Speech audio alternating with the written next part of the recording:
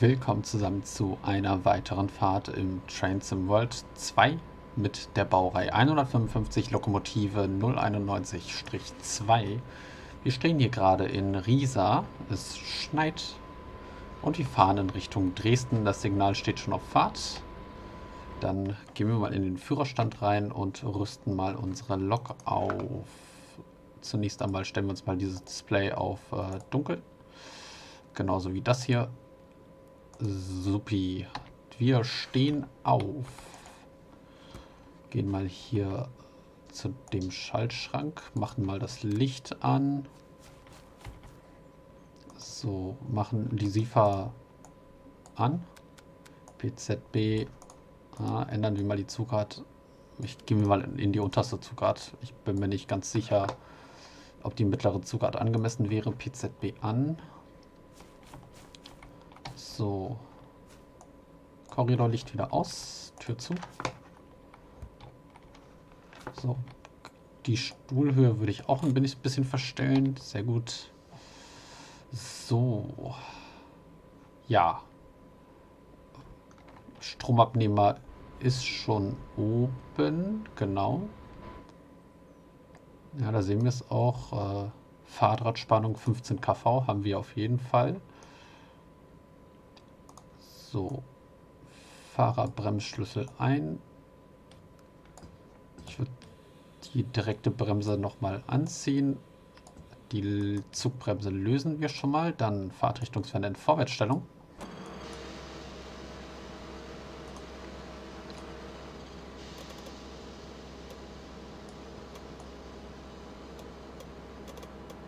So, gehen wir mit dem Zugkraftwahlschalter runter, denn es schneit.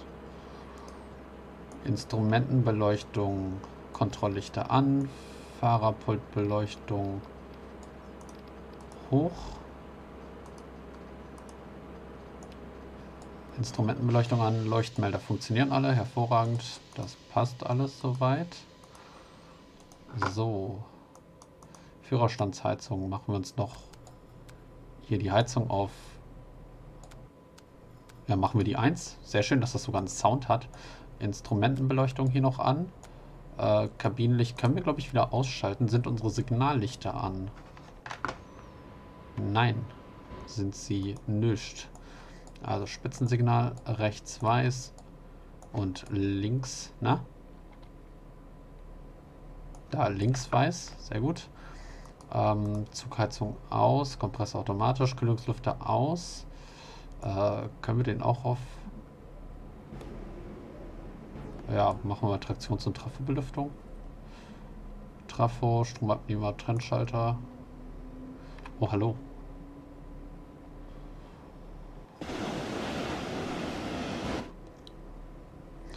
So, das passt dann soweit alles.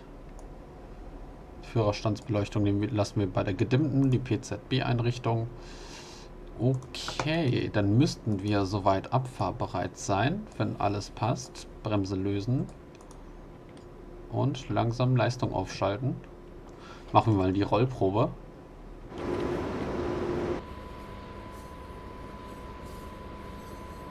Sehr gut, wir werden nicht langsamer. Also können wir fahren. Vorher aber noch den Scheibenwischer an. Wie ging der denn nochmal an? Habe ich jetzt mit der Taste V gemacht, aber wo hier im Führerstand war das dann noch gleich? Da Scheibenwischer an. Scheibenwischergeschwindigkeit 50%, passt glaube ich. So, dann Langsam Leistung hoch.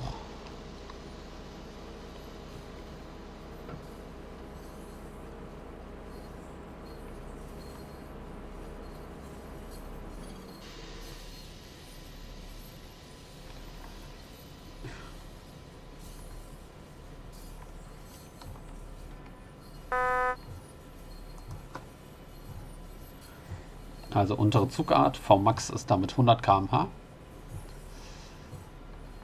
Wobei der Zug, glaube ich, relativ schwer ist. Bleiben wir mal bei den 90. Ich, ich denke, das ist sinnvoller.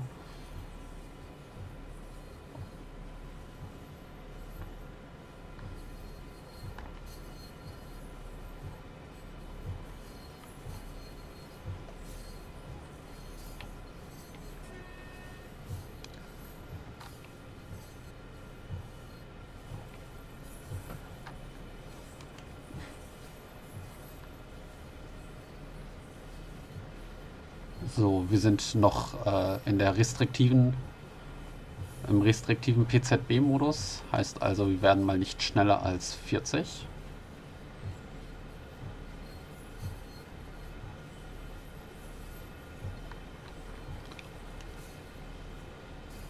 Und fahren hier durch Riesa.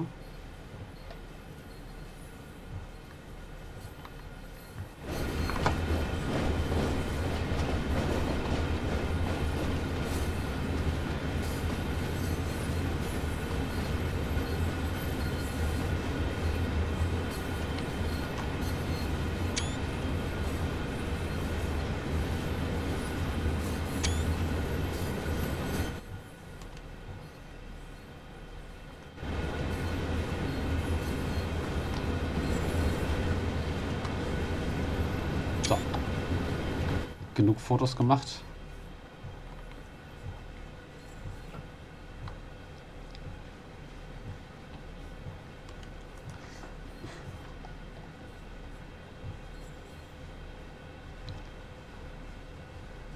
Und wir haben HL1. Hervorragend.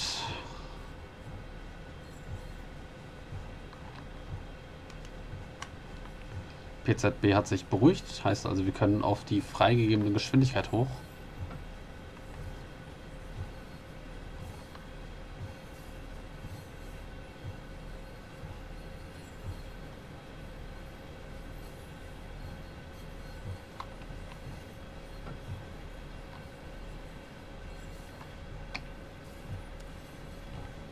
Ich weiß nicht, ob wir das Licht aus- oder anlassen sollen.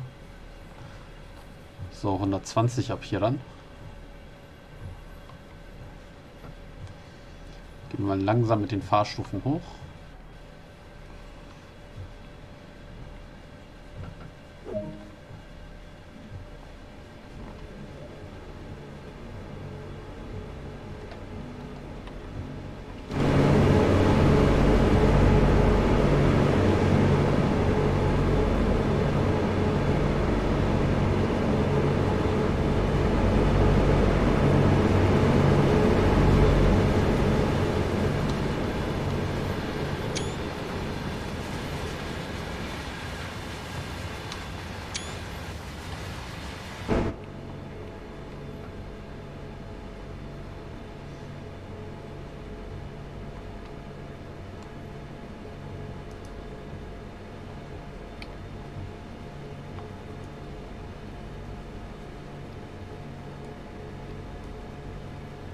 Macht das hier einen Unterschied, die Farbbeleuchtung?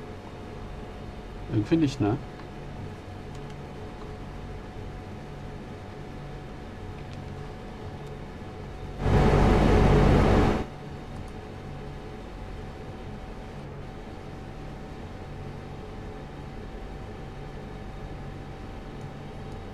Fahrplanleuchte. Okay.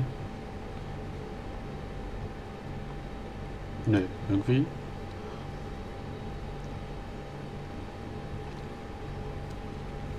Haben wir dann keine Fahrplanleuchte?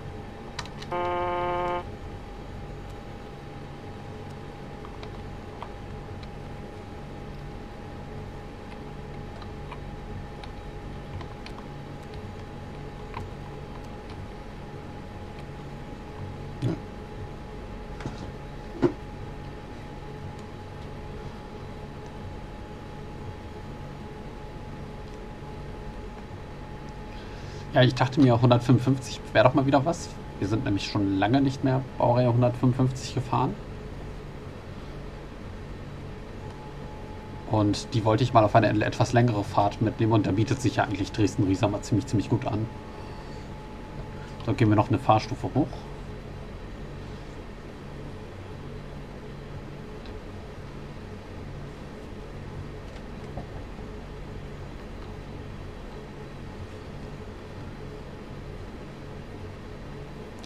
Und gerade hier so in den Abendstunden, das ist schon sehr, sehr schön. Was strahlt denn hier? Ist das der Mond?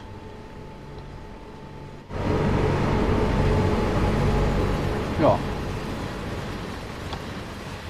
Strahlt ein bisschen sehr hell gerade, aber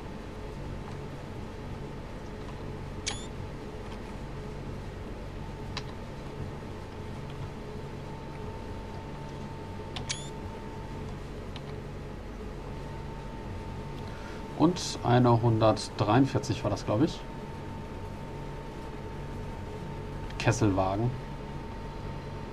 Von der Bauart ZACNS. Huch. Wir sind zu schnell.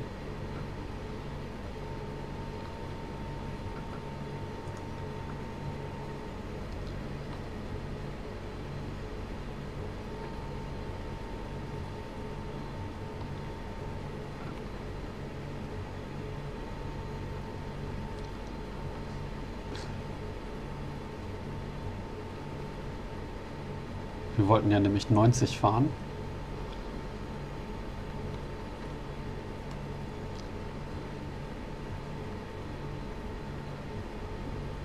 Denn nur weil die PZB uns 100 erlaubt, heißt das ja noch lange nicht, dass wir die 100 auch vom Zug aus fahren dürfen. Und ich glaube, da wir einen beladenen, schweren, langen Güterzug haben, äh, ist 90 vermutlich eher angemessen als VMAX. Es gibt auf jeden Fall ein paar Leute in den Kommentaren, die schreiben da immer mal wieder was dazu. Hier der ähm, TFNRW, glaube ich. Ich hoffe, ich habe deinen Namen richtig in Erinnerung. Der schreibt immer sehr, sehr hilfreiche Kommentare, da er selbst Triebfahrzeugführer ist. Offensichtlich in Nordrhein-Westfalen. Ähm, und da bin ich natürlich immer sehr, sehr dankbar dafür, wenn äh, da irgendwelche Hinweise dazu kommen, wie man vielleicht realistischer fahren kann, wenn ich mal irgendwelche Fragen habe. Zum Beispiel hier diese, äh, ähm, diese Zwergsignale, da hatte ich nicht, wusste ich letztens nicht ganz, wie die heißen. Äh, Gleissperrsignal. Wurde mir dann in den Kommentaren gesagt. Na, und durch solche Sachen lernt man ja auch immer dazu. Also danke auf jeden Fall für all die Leute, die in den Kommentaren da immer wieder einige Korrekturen, Berichtigungen, weitere Informationen mit einbringen. Da bin ich immer sehr, sehr dankbar dafür und lese mir das immer sehr gerne durch. 155 hat sich auch mal jemand gewünscht, ist doch schon länger her. Aber ich kam da einfach bisher nicht dazu, die 155 mal zu fahren.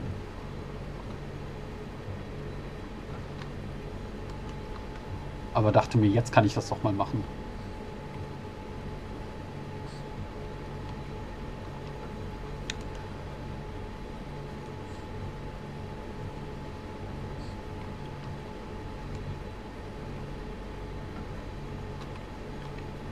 Es geht ein bisschen bergauf. Kein Wunder, dass wir gerade nicht schneller werden.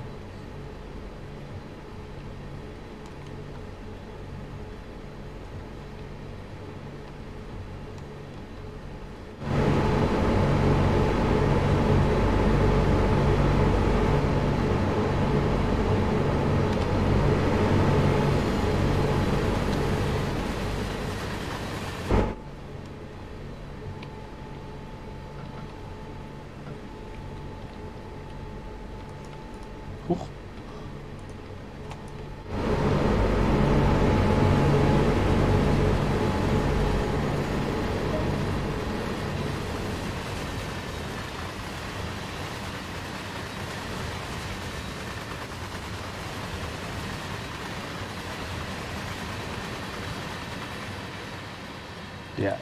Der RE50 folgt dann hier.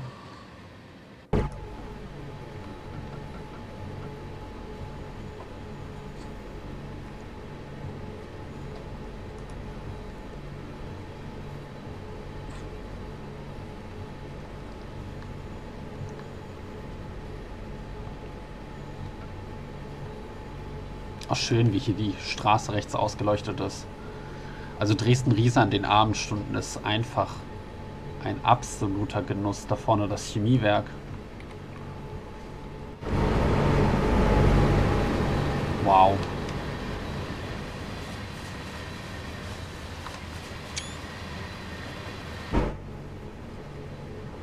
Also wirklich Wahnsinn. Hut ab. Ich kann es nicht oft genug sagen. Die Strecke ist einfach schön. Und da kann mir keiner was sagen, dass die Strecke irgendwie schlecht ist, dass die Strecke nicht gut gemacht ist. Das ist, das halte ich für Stuss. Klar, natürlich kann man dieser Meinung sein, aber äh, meiner Meinung nach wäre das mehr als nur unbegründet. Denn wenn man das hier nicht gut findet, dann frage ich mich, was ist jemals gut? Also schaut euch hier um. Es ist einfach stimmig. Man, man fühlt es so richtig, so diese kalten Abendstunden gemütlich im Güterzug unterwegs in der Baureihe 155.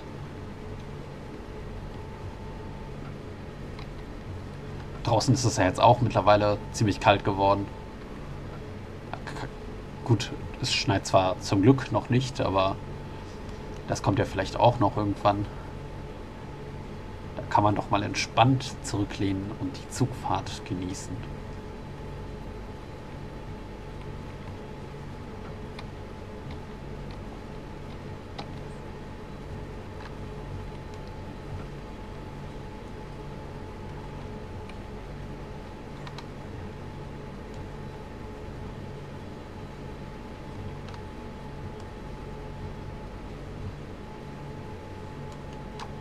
Na, ich, ich glaube, wir lassen einfach die Lichter aus. Das ist schöner. So, es geht hier immer noch ordentlich bergauf, ja.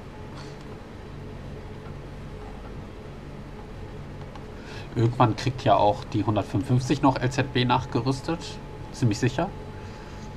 Noch hat sie die LZB leider nicht bekommen. Aber ich denke, sobald dann das äh, Update von der Preserved Crew rauskommt für Rhein-Ruhr-Osten, für die ja die 155 entwickelt wurde. Nee, für Rosig Nord, ne? Oder? Und für welche Strecke wurde die 155 entwickelt? Rhein-Ruhr-Osten oder Rosig Nord? Ich weiß es nicht. Auf jeden Fall, wenn einer dieser beiden Strecken dann irgendwann das äh, Update aus der Preserved Collection von der Crew enthält, äh, erhält, also praktisch so eine Art Facelift, dann hoffe ich auch sehr, dass die 155 äh, ebenfalls da äh, noch praktisch das Facelift mit dazu bekommt und da vielleicht ein bisschen die, ähm, vor allem die LZB nachgerüstet wird, die Sounds der 155 ein bisschen vielleicht noch verbessert werden. Wobei die eigentlich auch ganz okay sind, muss ich sagen. Die physikalischen Eigenschaften der 155 sind auch ein bisschen eigenwillig. Also wenn man hier Leistung aufschaltet, ne, dann äh, selbst mit einem schweren Güterzug, da geht das Ding ab wie die Luzi. Da kannst du die kannst du dann nicht mehr einfangen, die 155 so schnell und vielleicht werden da ja noch die physikalischen Eigenschaften des Zuges angepasst, beziehungsweise von der Lok.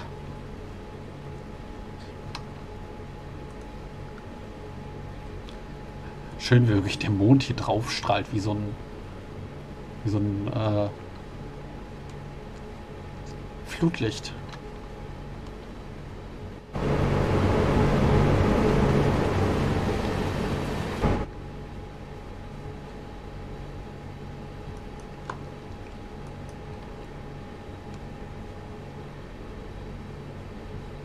Hallo? Sehr schön.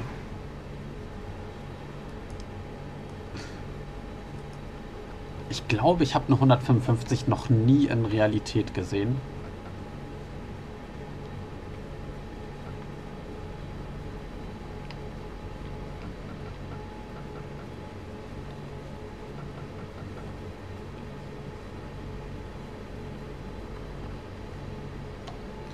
Das wäre auf jeden Fall ganz cool, mal die 155 auch mal in echt sehen zu können. So, jetzt werden wir schneller, weil äh, wir den Berg wieder runterfahren. Daher nehme ich mal ein ganz kleines bisschen an Bremskraft.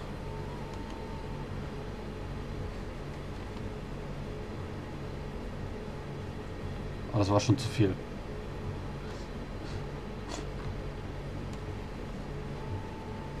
So, wir lassen weiter rollen. Es geht ja immer noch berg runter. Und jetzt geht's wieder rauf.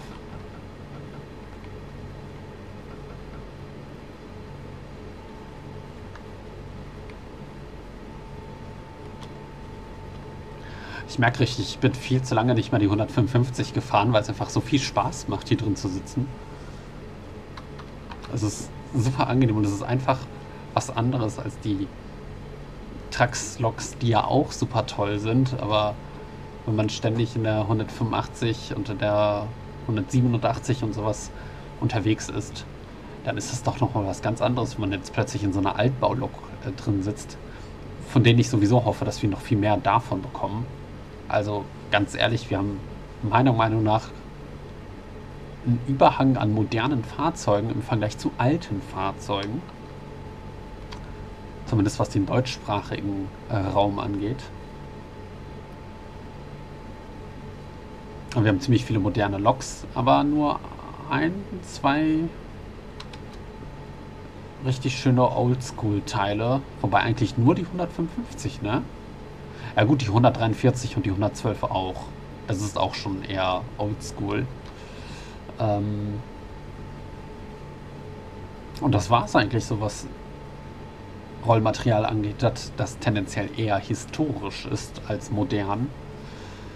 Man kann natürlich auch die GE442 aus Arosa mit dazu zählen, aber das ist, weil das halt eben auch der deutschsprachige Raum ist, aber das ist für mich nicht das, was ich jetzt hier runterfassen würde. Mir geht es da mehr so um die, um solche Einheitsloks, um die Einheitsführerstände und sowas. Ich nehme mal die Leistung wieder raus, weil es wieder runter geht. Also die Einheitsführerstände, sprich Baureihe 110 oder 111 ist glaube ich auch so ein Einheitsführerstand oder, oder nicht? Nee. Aber trotzdem auch nur 111 würde ich mehr als nur begrüßen. Würde ja auch super passen zum TSW.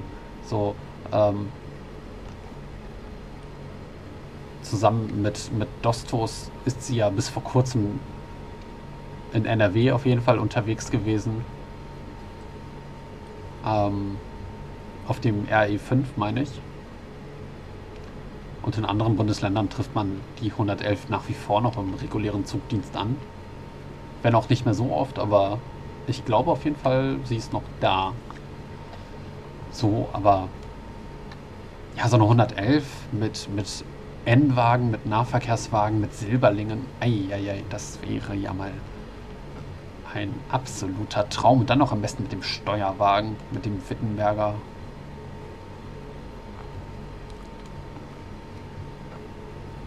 Aber würde ich nicht Nein zu sagen, ne? Also da würde ich schon, schon echt viel Geld für sowas bezahlen.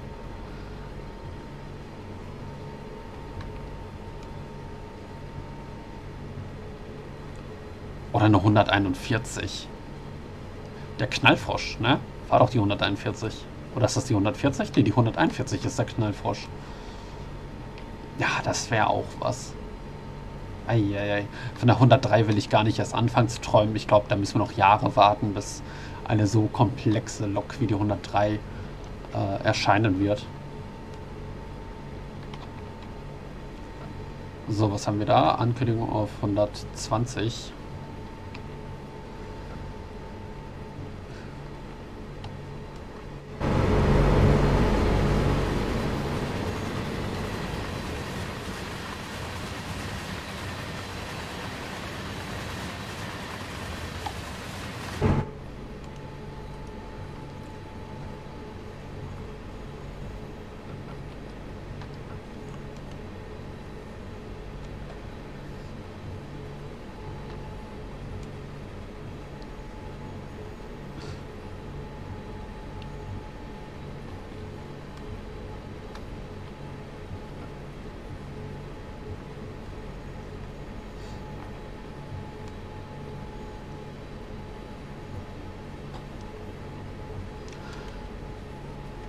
Gut, das ganze historische Rollmaterial ist natürlich eine tolle Sache, aber ich freue mich auch genauso sehr auf die Foslo G6, die demnächst dann irgendwann erscheinen wird. Ich denke mal, ja, Ende November könnte vielleicht noch hinkommen. Spätestens im Dezember wird sie dann auf jeden Fall erscheinen, da bin ich mir sehr, sehr sicher.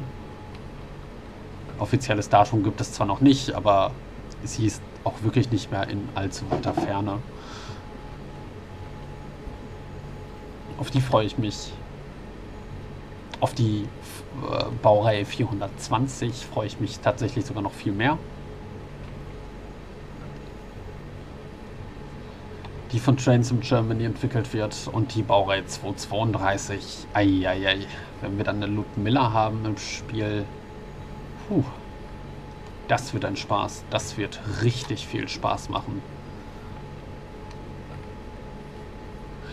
Sofern die auch nur ansatzweise so gut umgesetzt ist wie im Train Simulator, wird die Ludmilla der Wahnsinn werden.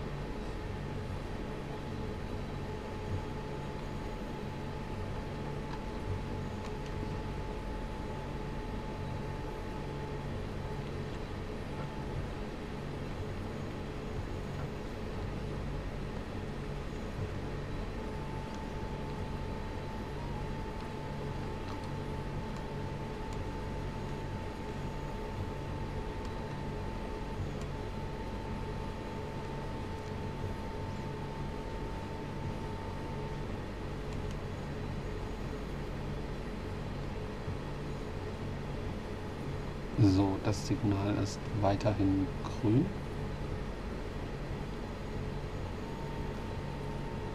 Ich hoffe, das bleibt auch dabei, dass wir schön eine grüne Welle bekommen und äh, gut durchfahren können.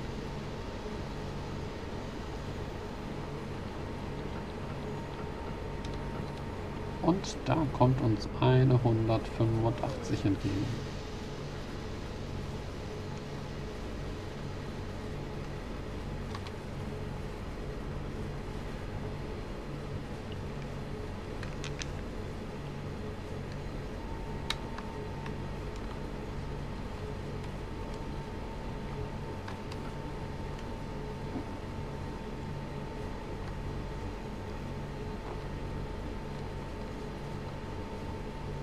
Ach, das macht wahnsinnig viel Spaß. Also da, da, da werde ich richtig happy. So.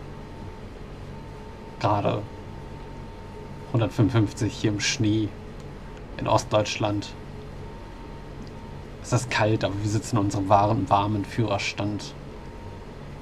Was, was will man mehr?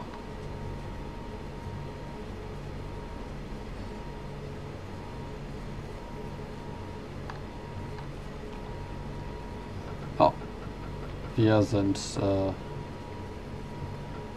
ein wenig zu schnell für meine Begriffe.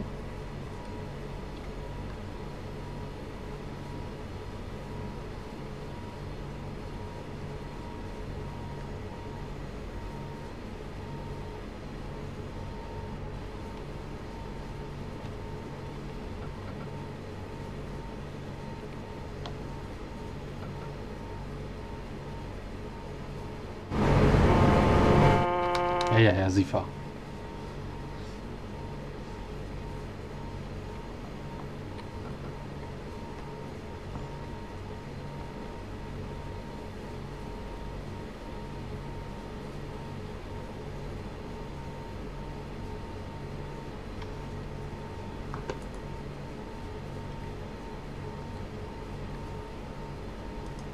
Funktionieren eigentlich die Anzeigen hier?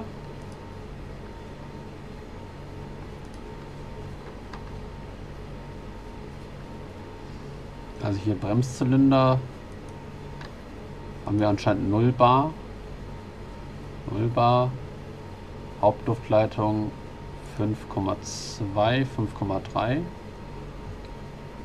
Hauptluftbehälter bisschen mehr als 9 Bar. So, wenn ich jetzt bremse, ist die Frage, ob sich da jetzt irgendwas an den Anzeigen verändert. Probieren wir es mal aus. Tatsache, ja. Sehr schön.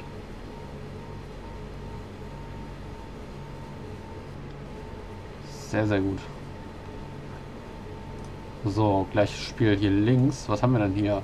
Also hier haben wir die Ober das Oberstrom, den Oberstrom und hier haben wir dann äh, die Ampere-Anzeige, oder? Also Fahrdrahtspannung und hier haben wir Oberstrom, genau, in Ampere. Oh, hallo?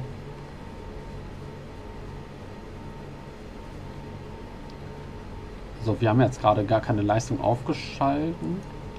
Dann schalten wir jetzt mal ein bisschen Leistung auf.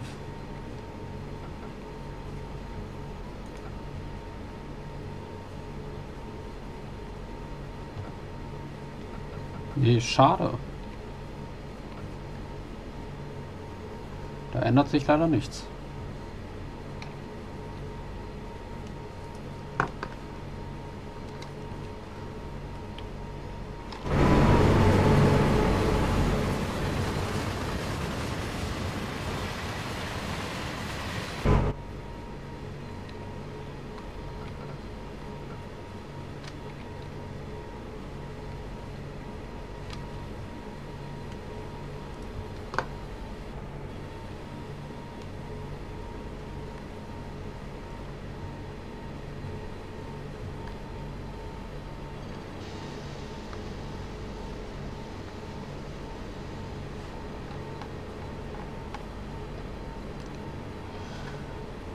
Was vielleicht auch ganz cool wäre bei so einem Update, hier, hier scheint praktisch so ein bisschen das Licht durch, als sei hier keine Absperrung. Ich weiß nicht, ob das irgendwie realistisch ist und ich da vielleicht irgendwas falsch verstehe, aber meiner Meinung nach wäre es schöner, wenn hier dieser Streifen Licht nicht da wäre. Aber ja, gleiches gilt auch für hier. Aber ich weiß nicht, vielleicht ist es ja auch realistisch.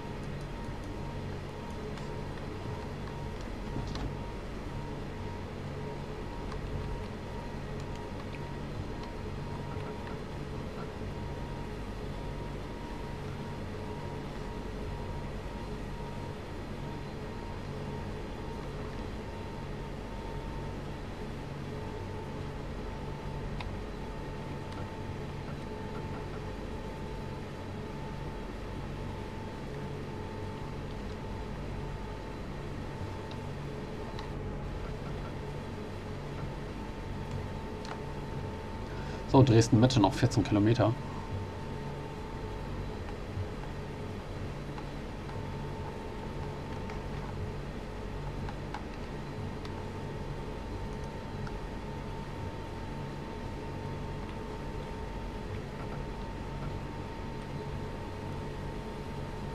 So, und wir müssen bremsen.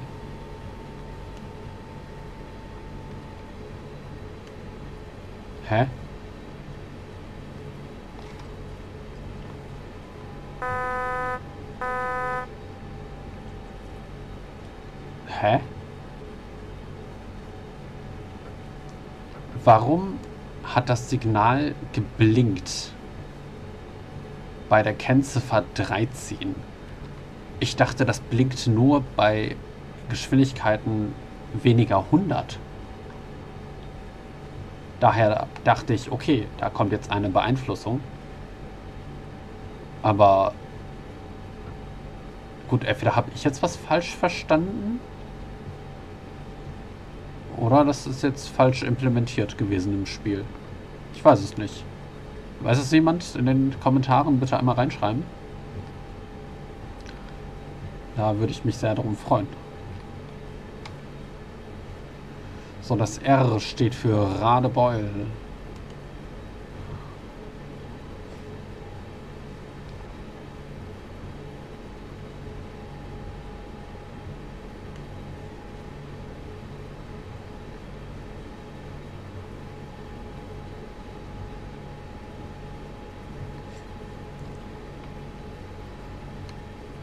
So, 100. Ja, ich weiß, das hätte nicht bestätigt werden müssen. Ich habe es jetzt aber mal trotzdem gemacht.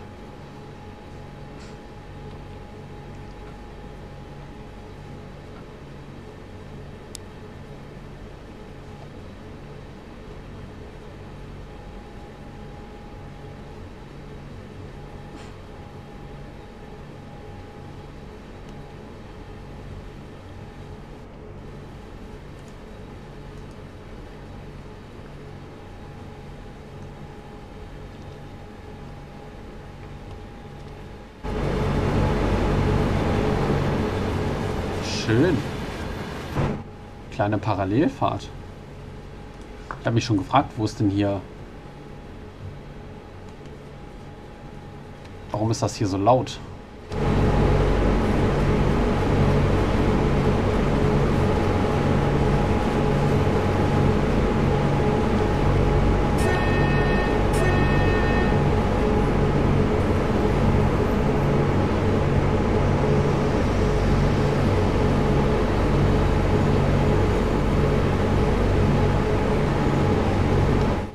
Kollege in der 185 von MRCE, der hat uns hier mal durchgelassen. Beziehungsweise wir haben wohl Vorfahrt mal in Laientermen gesprochen. Äh, in Laienterminologie, nicht in Laientermen. Wobei Term könnte man vielleicht in dem Fall sogar auch sagen. Sei es drum.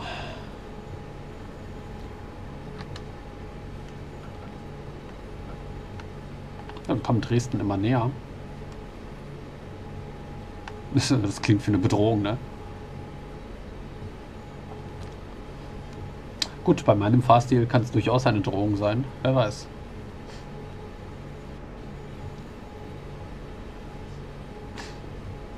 Wir mochten weniger als 10 Kilometer.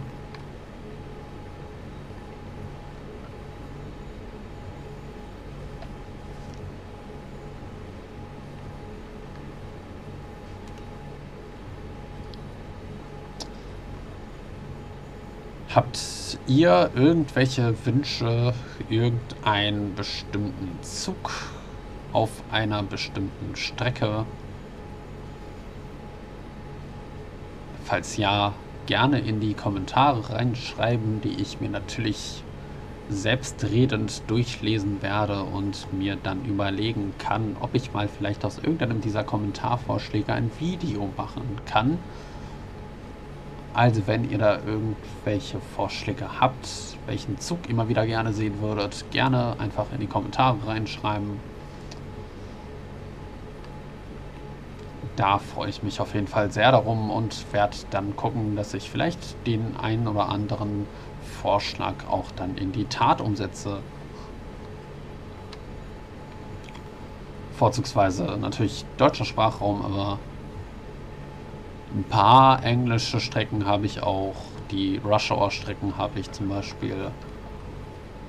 Und Arosa natürlich.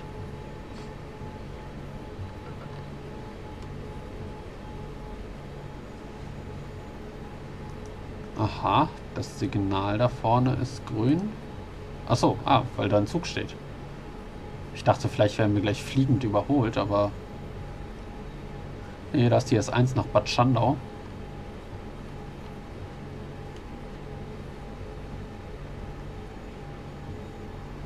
Dem Kollegen in der 143.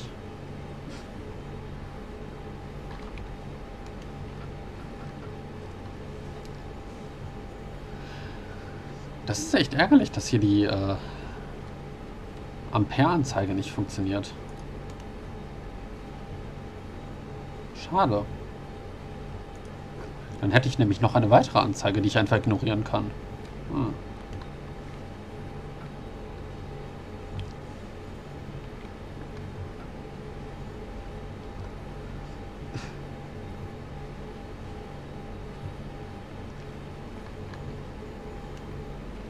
Mal gucken, vielleicht überholt uns gleich die 146.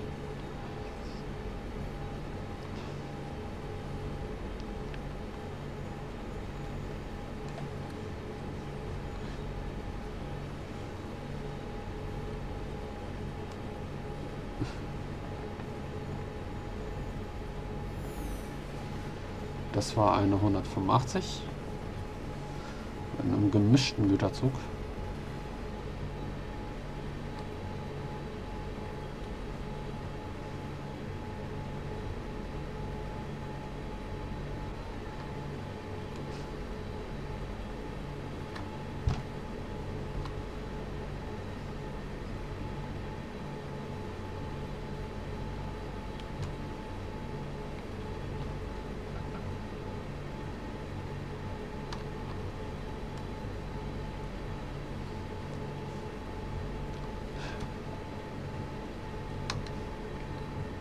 die 100, äh, die äh, Foslo G6 wird selbstverständlich auch vorgestellt, sobald sie dann draußen ist. Spätestens am Tag nach Veröffentlichung sollte es dann auch von mir dann ein Video dazu hier geben. Auf die freue ich mich extremst. Und auf die Taranta-Rampe Baureihe 612. Ich persönlich bin ja nicht so ein ganz so großer Diesel-Fan insgesamt. Aber die 612 ist schon echt cooler Dieseltriebwagen. Auch noch etwas älter, wenn man es so möchte. Nicht, nicht gerade das modernste von modern. Und gerade deshalb vielleicht äh, für mich noch ein bisschen interessanter als beispielsweise so ein, ähm, ja, so ein Desiro oder so. Ja auch sehr, sehr cool sind, gar keine Frage. Aber äh, für mich persönlich ist, glaube ich, die 612 der Dieseltriebwagen, bei dem mich das meiste Interesse packt. Gut, die ganz alten Dieseltriebwagen wären natürlich auch cool. Hier 600. Ähm ah, ich weiß leider nicht mehr die Baureihenbezeichnung da von den Dingern. 600. Nee, ich, ich will es auch nicht raten. Ähm ja, also noch ein bisschen älter ist tendenziell für mich sowieso immer besser.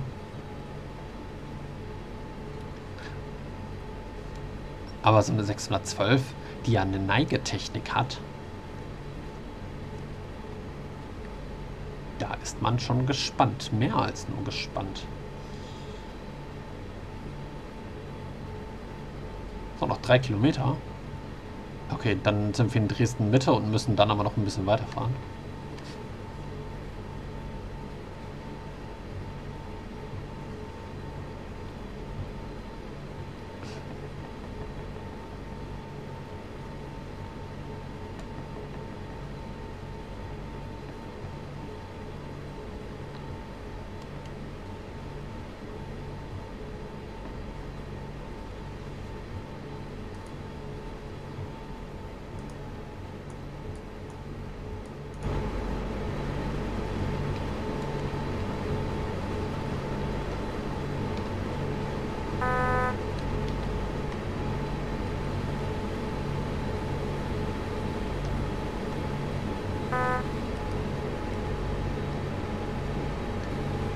Okay, da war kein PZB-Magnet.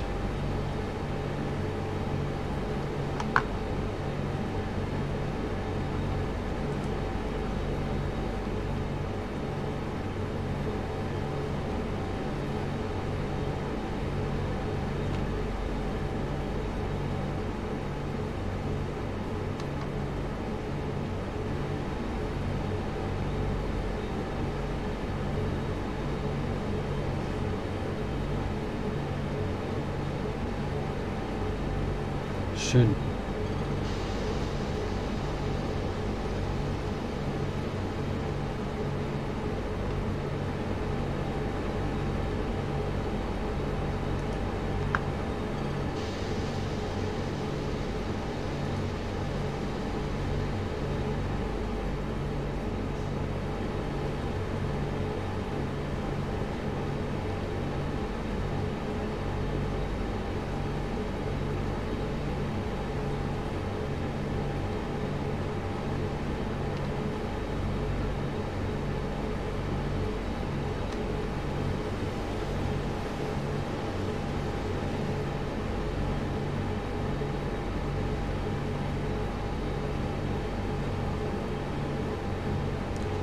So, dann fahren wir einmal hier an Dresden-Neustadt vorbei.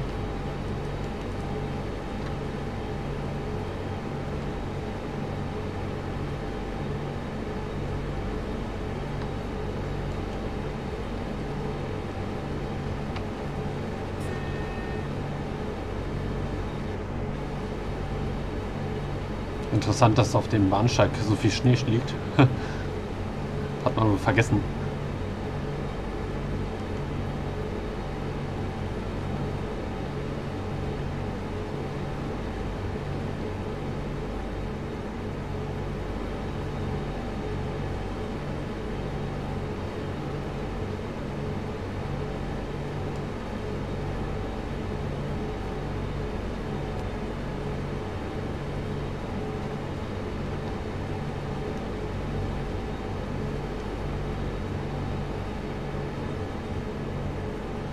Ach, der Blick.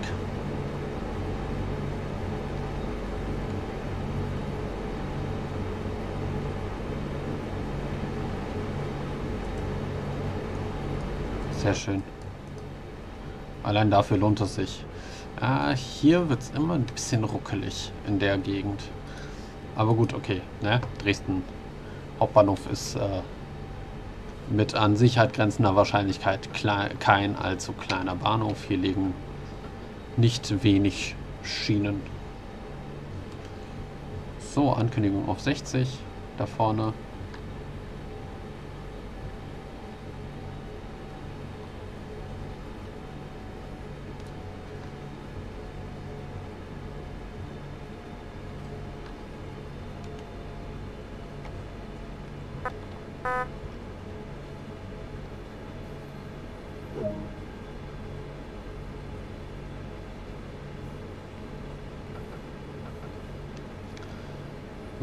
So, 55 blinken.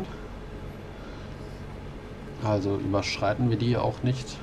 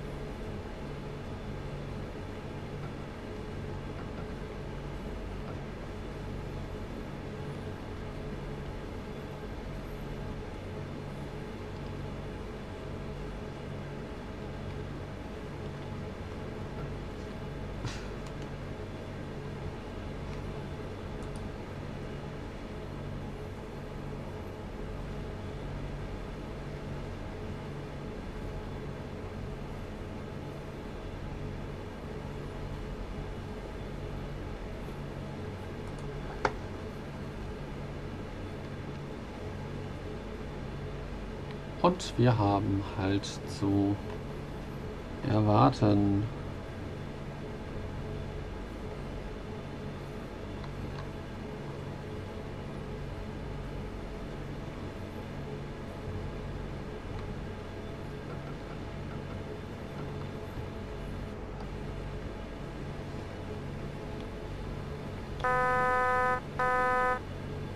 PZB wachsam wird gedrückt. Am 500 Hertz Magneten dürfen wir mit maximal 40 km/h vorbeifahren.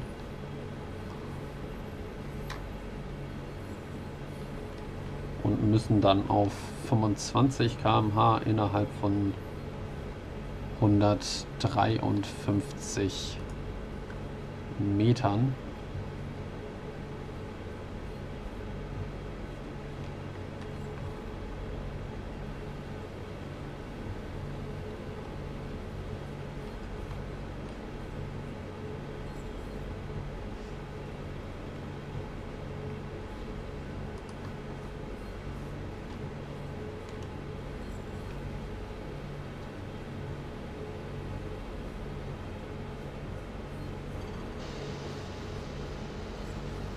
So, die 25 sind unterschritten.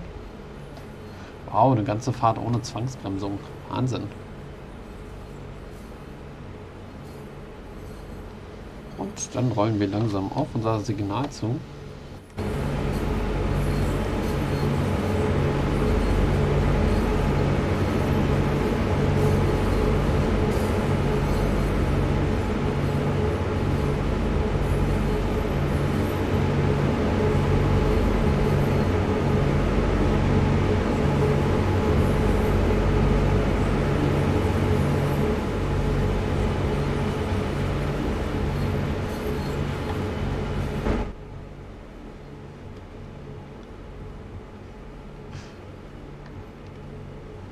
Bisschen sehr langsam reingefahren, aber Vorsicht ist ja bekanntermaßen besser als Gleitsicht.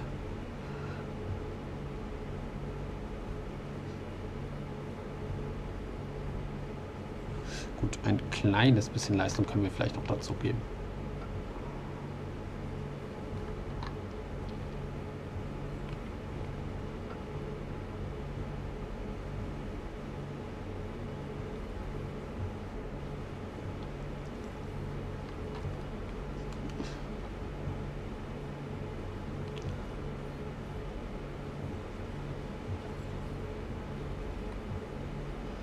So, das reicht dann auch.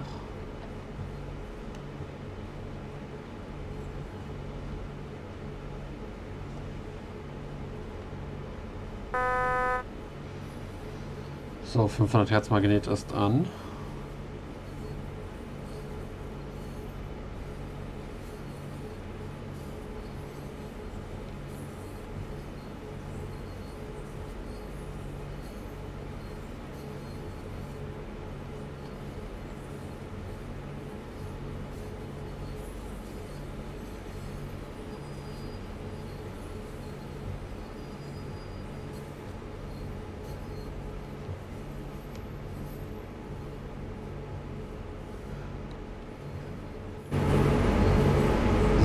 Ich danke euch recht herzlich fürs Zusehen.